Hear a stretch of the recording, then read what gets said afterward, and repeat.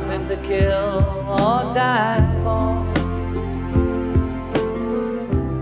It was just so simple and so nice, and still to this day, I feel that if he would have played it just on the piano, no bass, no drums, no strings, no nothing, would have been enough.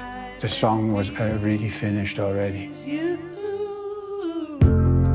you may say I'm a dreamer,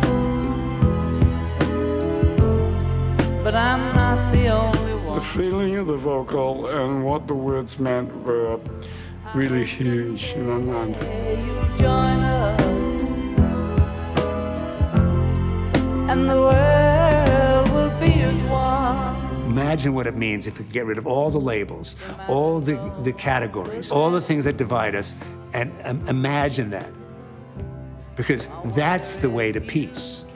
It is that first you have to see it. You have to be able to imagine that. Again, the role of the imagination, not just in art, but in being a complete human being. a brotherhood of man.